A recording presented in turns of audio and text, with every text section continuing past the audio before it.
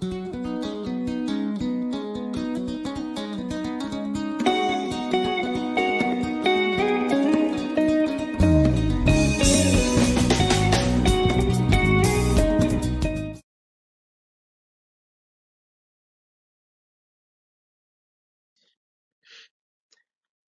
let us look at diseases that are caused by protozoa. So protozoa is also Uh, uh, uh, some diseases can be categorized as diseases caused by protozoa. So let us look at some of these diseases. We have uh, number one, malaria. Malaria is one of the disease that is caused by protozoa. Cause so malaria is caused by a parasite caused, called plasmodium. So plasmodium is a parasite that causes malaria. Effects and areas, which areas are affected by the uh, the parasite, the plasmodium. Generally, the the parasite, which is plasmodium, affects the blood circulatory system. In, in particular, it affects the red blood what cells. So plasmodium is a parasite that reduces the number of red blood cells in our bodies. So, so we are saying the parasite multiplies in the liver, so it can multiply in the liver. It then breaks out of liver cells to multiply further. Its merozoites in red blood cells, causing them to burst. So once they multiply in uh, red blood cells, the red blood cells can uh, uh, burst.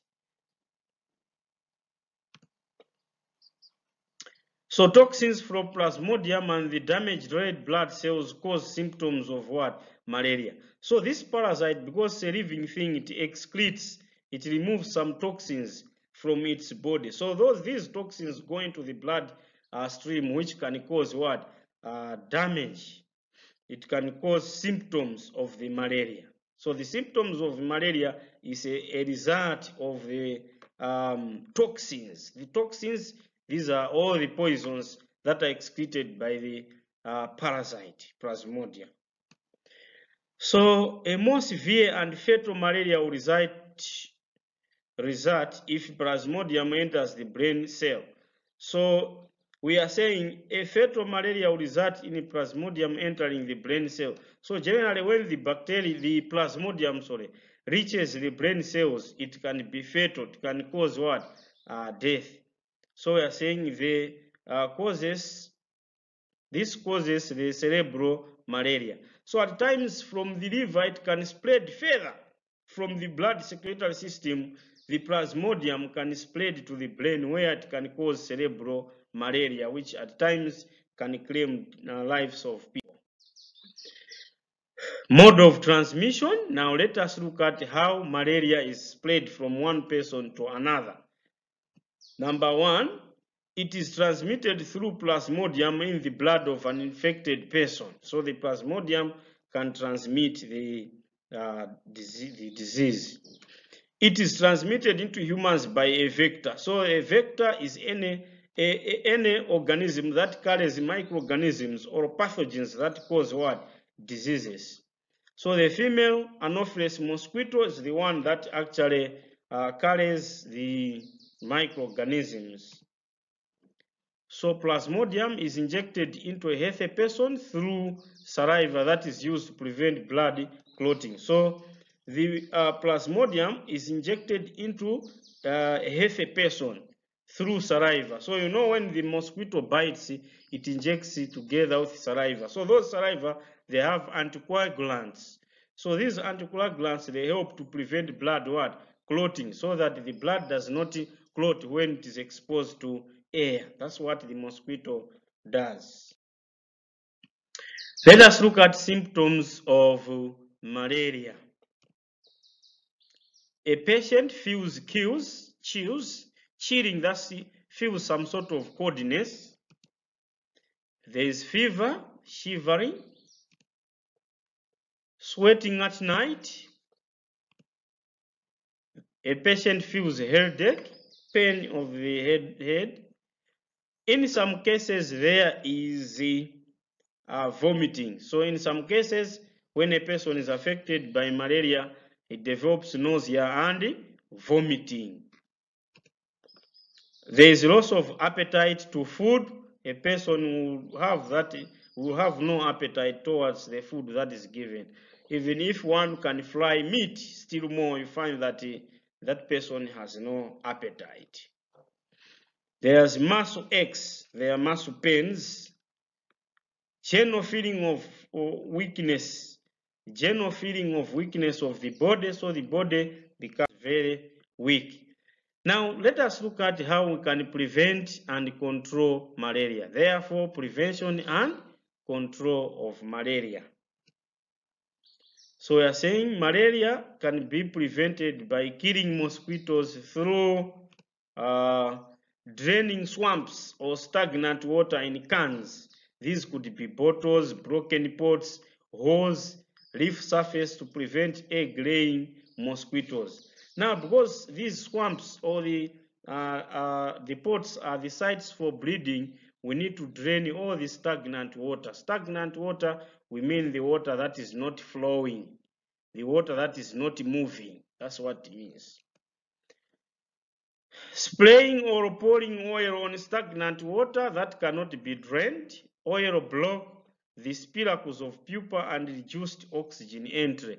So uh, when we spray oil on the surface of uh, water, what generally does that uh, the pupa uses oxygen to respire. So when we pour, pour oil, that oil is going to deprive oxygen. Um, therefore, the the the plasmo, the larva cannot survive. In turn, we are disturbing the life cycle of the uh, mosquito, hence mm, preventing malaria. So oil will, will remove oxygen, will prevent entry of oxygen in water, so much so that the larva cannot even use that oxygen. And in the long run, it dies. Introducing fish which eat mosquito larvae into ponds or lakes. You know, uh, one, most of the times when you have ponds, those areas are affected by malaria. They are malaria prone zones. So now, keeping fish, the fish will eat the larva of what? Larvas of the mosquitoes. By so doing, the life cycle of mosquito is compromised, is broken. So therefore, that leads to prevention of malaria. For example, we have gambusia. So gambusia is the, the, the, fish species that feed on what? Mosquito larvas. So sleeping under treated nets, the nets must be uh, used.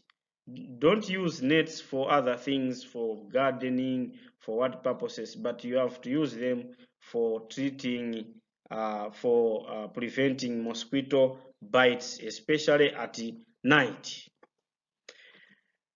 Treating people with anti-malarial drugs, so you can treat those people affected by malaria.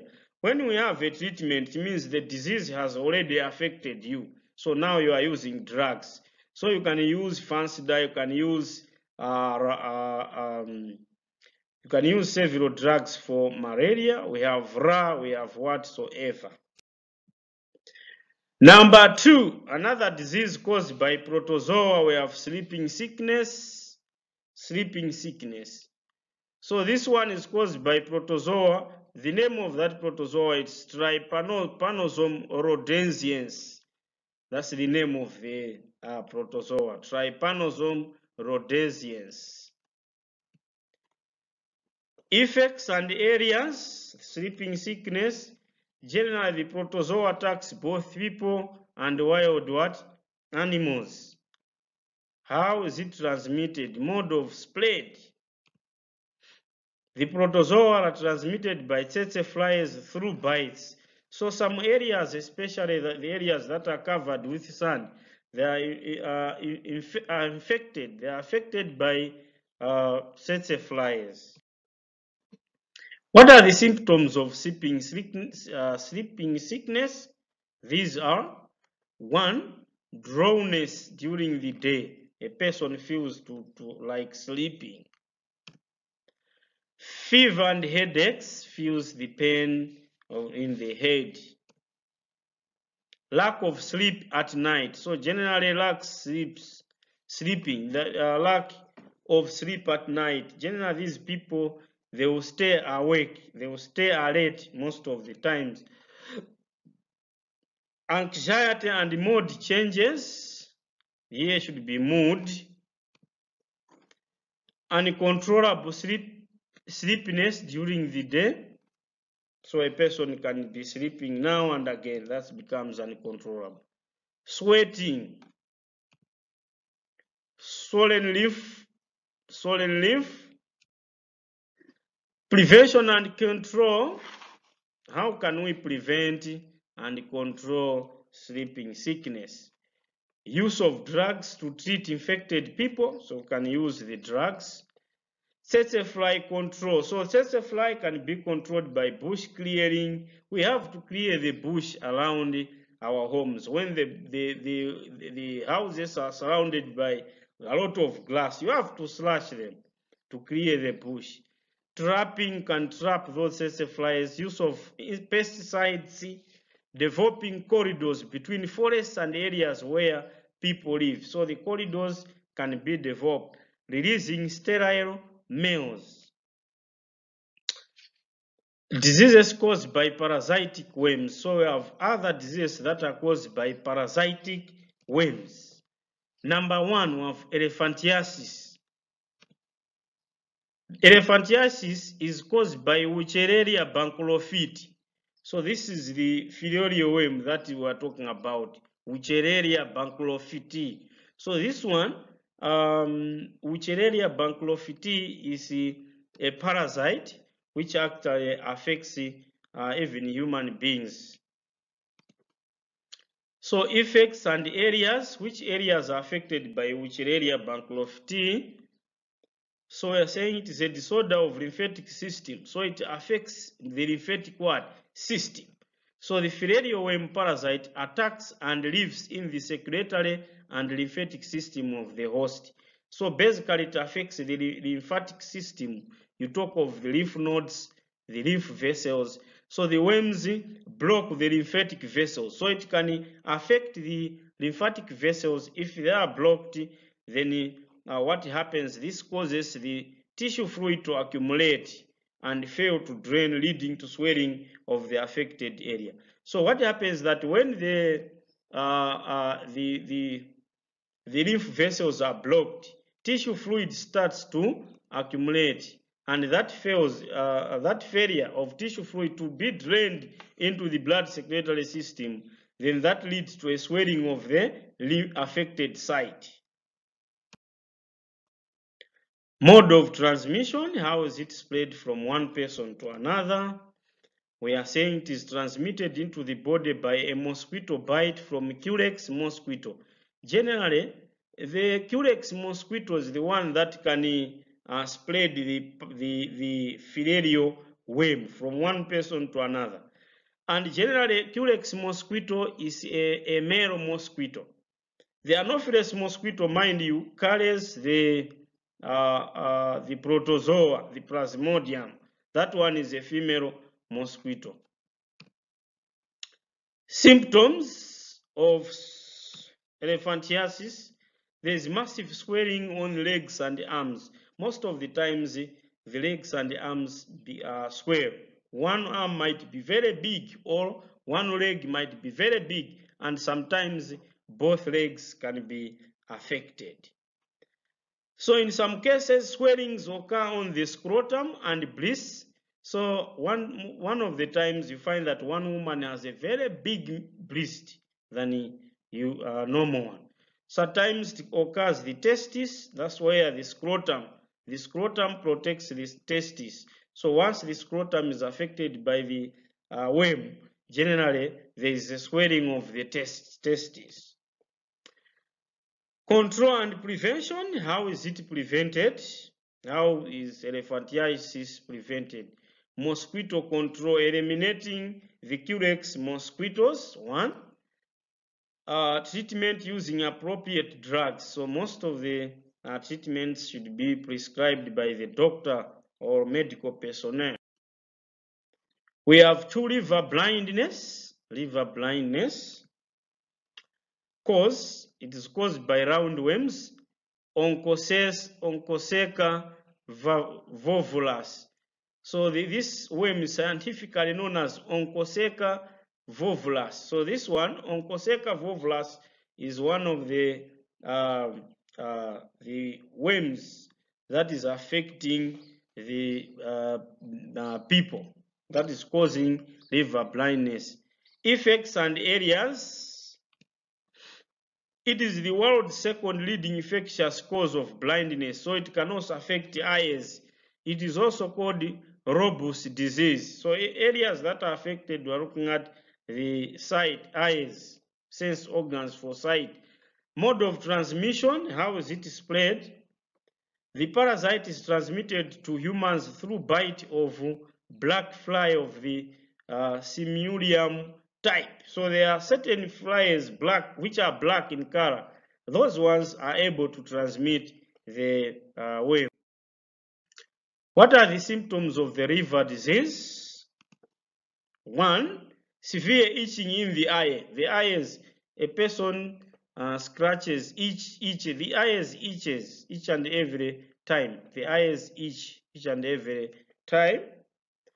Control and spread, meaning to say when you talk of itching, a person try to scratch the uh, eyes like that, like that, that's itching.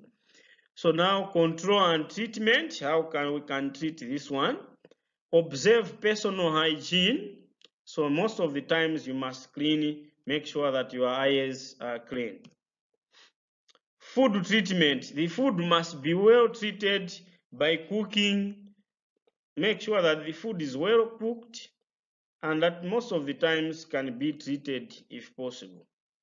Treatment of water before it is pumped to our homes. Generally, water, if water is drawn from the wells, it must be overboiled. Water must be boiled before taking it from the wells. At the same time, the water must be chlorinated. Most of water or piped water should be chlorinated.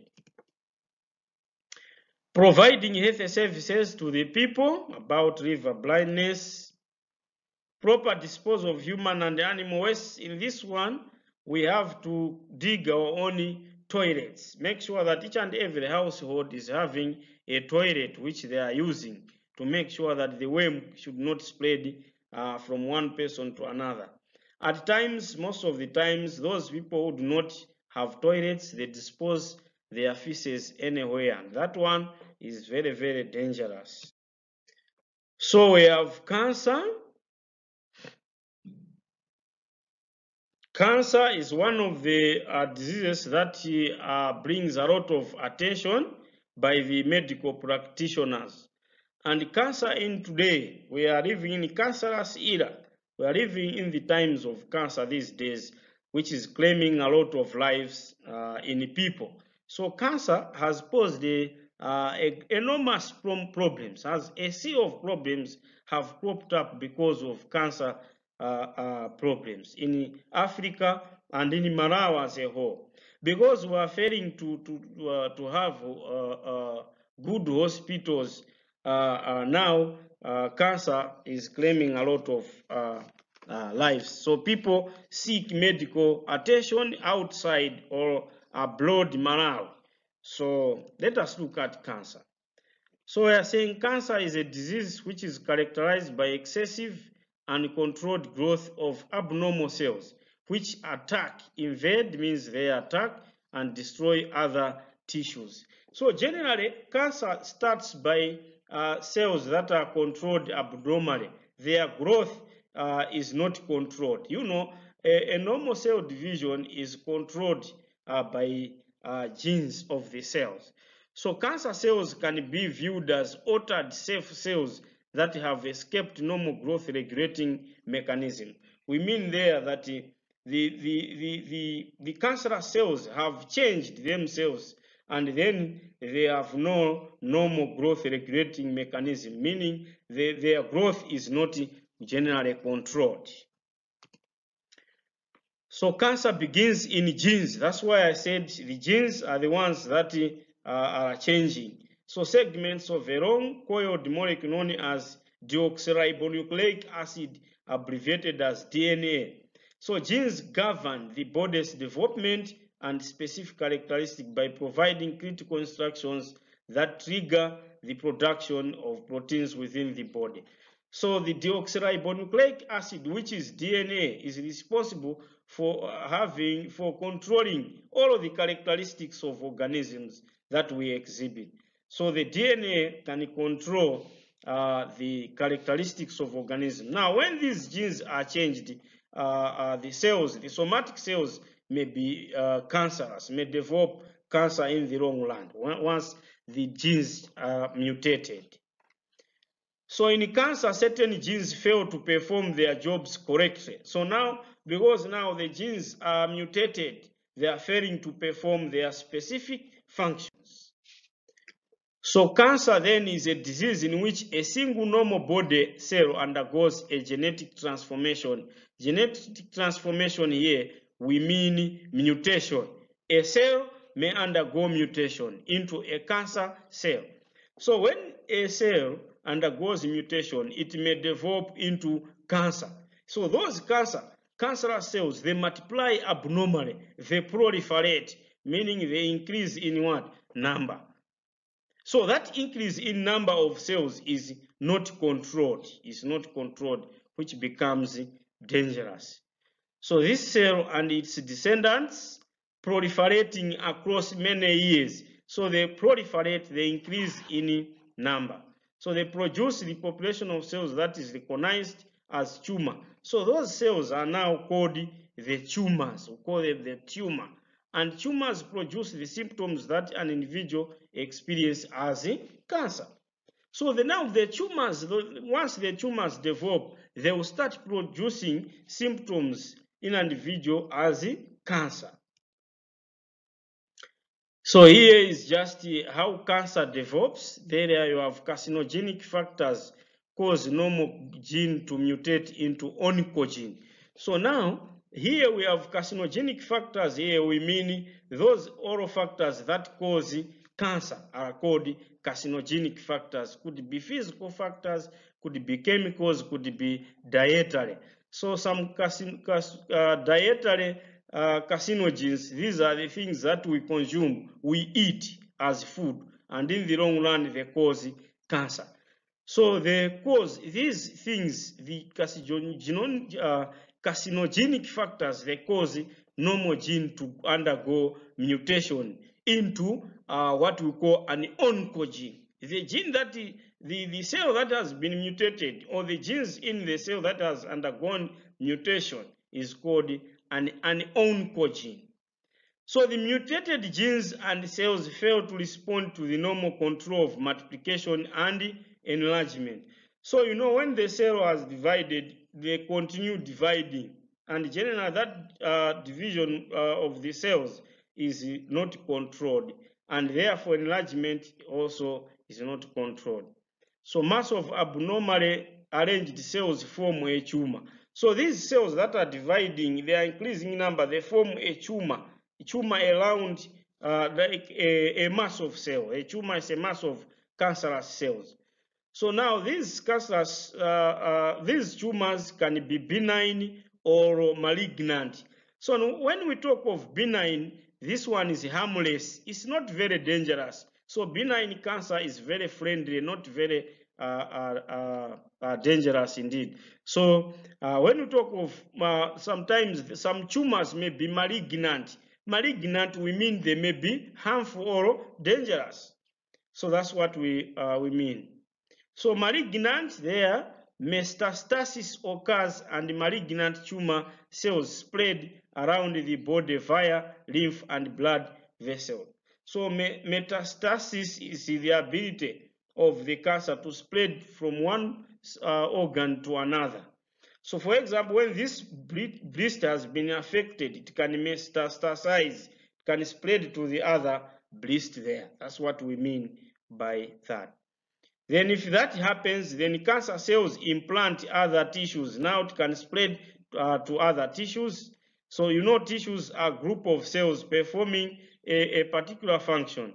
So new malignant tumors also uh, go there.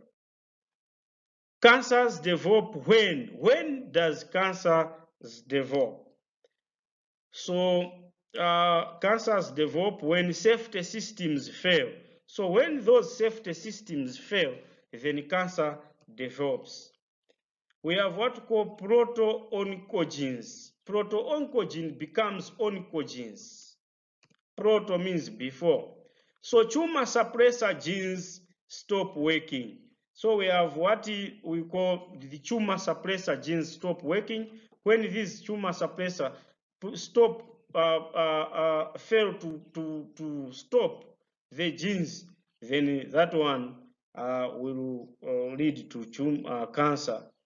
So now we are saying cell cycle clock malfunctions, you know, failure of the cell cycle clock. We know cell division as it is.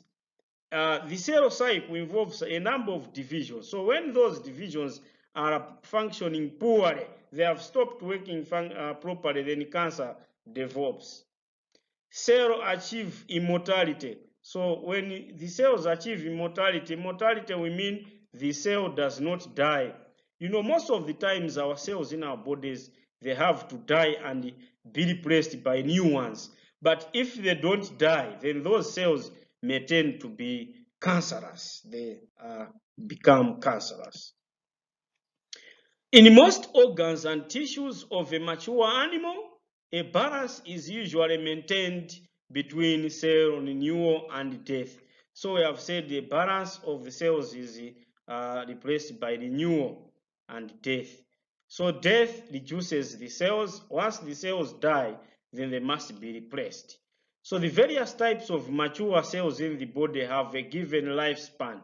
So meaning they have give they have duration where by they will die. Either three months, the red blood cells can stay for three months. Thereafter, the new ones they die. They are broken in spleen to produce iron which can be reused uh, for the next formation of red blood cells. So we are saying as these cells die, new cells are generated. They are produced by the proliferation, that's multiplication and differentiation of various types of stem cells. So stem cells, these are the cells that have differentiated. They perform, uh, they are modified to perform a specific function.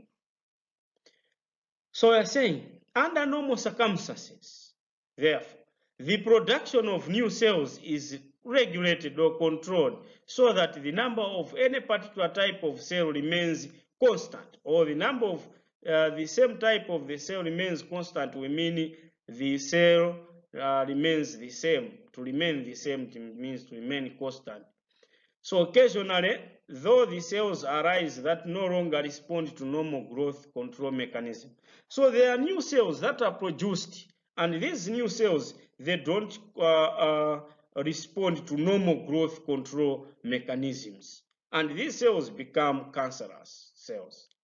So these cells give rise to clones of cells that can expand to considerable size.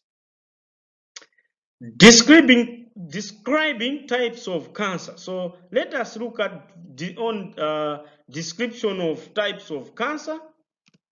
So we have we have what we call the benign tumors benign tumors. So tumor that is not capable of indefinite growth and does not invade the healthy surrounding tissue extensively is benign. So benign is a harmless cancer and generally this cancer that does not spread from one place to another. Benign tumors are not cancerous cells most of the times so benign tumors are rarely life-threatening, meaning these cannot be fatal, they cannot kill somebody. That's what it means there. So generally benign tumors can be removed. These can be removed if it, uh, the cancerous tumors are uh, recognized at the early stage. So they usually do not grow back. So these once they have been removed, they do not grow back as compared to the malignant tumors. So cells from benign tumors do not invade the tissues that are around them. So generally these cells are very friendly. Why are we saying they are very friendly? Because they are not even affecting the neighboring cells that are surrounding them. Right, so we are saying cells from benign tumors do not spread to other parts of the body. So they only affect a small part of the body, cannot uh, spread to another part. So we have also what we call the malignant tumors. These malignant tumors, a tumor that continues to grow and becomes progressively invasive is called malignant. The term cancer refers specifically to a malignant tumor. So cancer cells are malignant, meaning they are harmful cells. Harmful cells. A tumor where meaning a mass of cells that is forming uh, uh, cancer. In addition to controlled growth, malignant tumors exhibit metastasis. There they show exhibit meaning, meaning show. They show metastasis and metastasis there we mean uh, it uh, spreading to one uh, part of the body. This process, small clusters of cancerous cell dislodge from a tumor, meaning they break. Eh? So when you are talking of uh, a tumor, it's like a cluster of cells, small cluster of cells, cancerous cells called a, a tumor. So this tumor can break from a, a, a tumor dislodge there I mean can break from a tumor now, a mass of cells, and then attack the blood or the lymphatic blood vessels and are carried to other tissues where they continue to proliferate. Where they continue to proliferate, we mean they continue to increase and multiply in number. So in this way, primary tumor at one site can give rise to a secondary tumor at another site. So when once it has attacked, uh, attacked one tissue, it continue to change and uh, develop into another uh, secondary tumor. So malignant tumors are cancerous. Most of these are cancerous by nature. We are saying malignant tumors are generally more serious than benign tumors. They may be life-threatening. So these can really result into death. Malignant tumors uh, often can be removed, but these can also be removed, but sometimes they grow back. You have removed the swelling, but you find that after some days, that swelling resumes again, starts growing again. So uh, cells from malignant tumors can invade, can attack and damage nearby tissues and organs.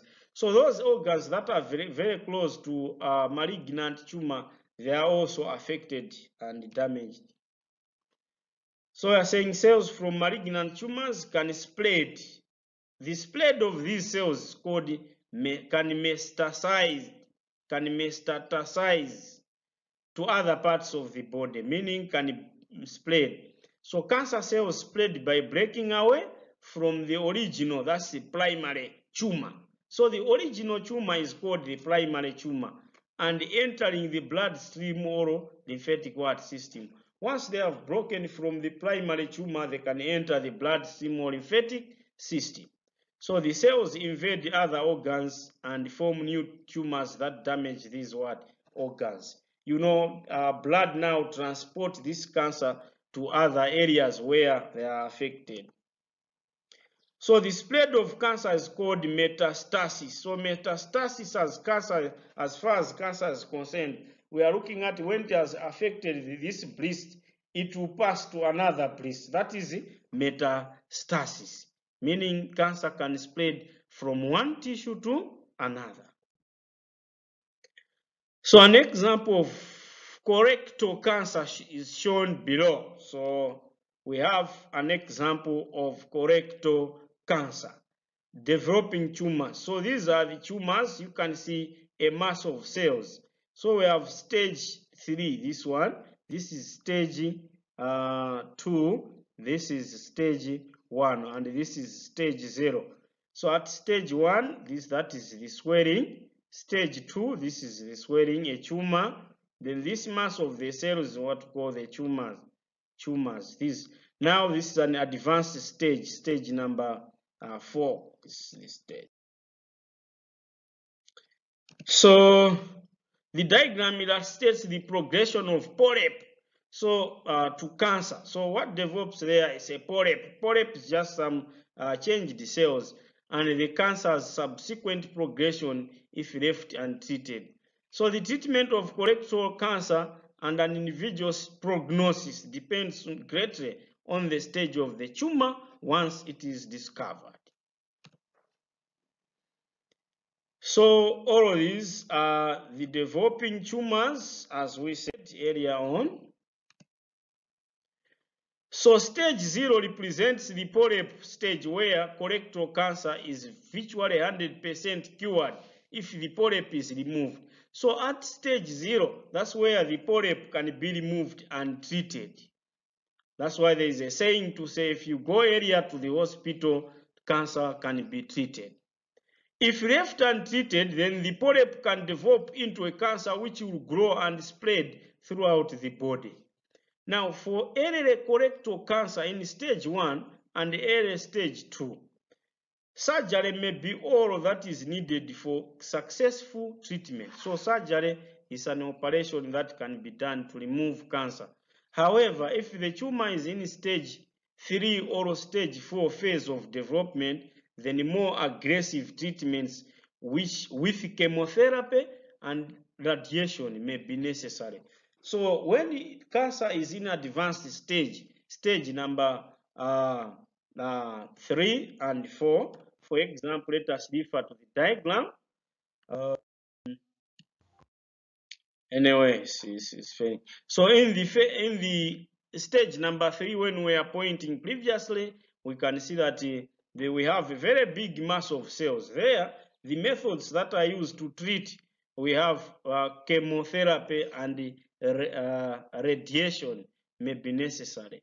So chemotherapy is treatment which is used uh, uh, to treat cancer but using chemicals.